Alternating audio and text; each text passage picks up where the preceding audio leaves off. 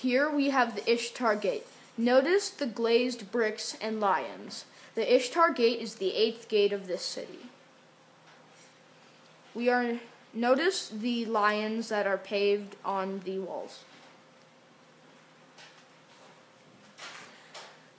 We are now entering the Tower of Babel. This tower is the tower that is in the story in the Bible. Some think it was in the city of Babel and but we have no real proof.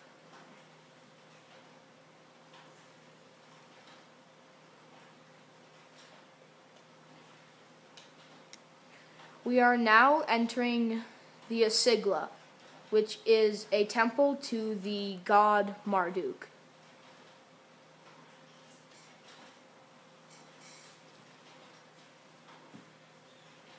We are now going to what a medical house would have looked like. Ancient medicine in Babylon was mostly with herbal potions. They had um, brewing, they had brewing stands that they would make a medical tea to for the people to drink.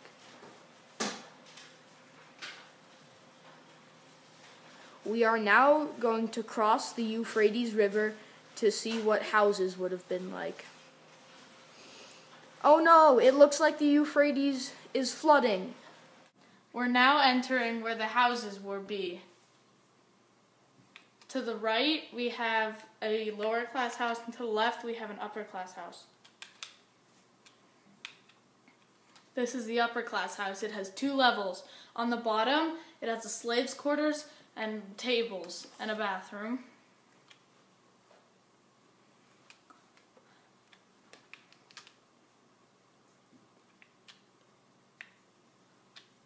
On the next level, we have the master bedroom and decorations and windows.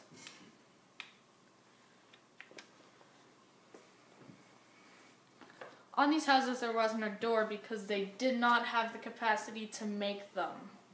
And now here we have a lower class house with basic basically everything you would need. And then we're now going to the temple of Ea, where would you where you would worship Ea, the god of war. And then finally we're going to the hanging gardens.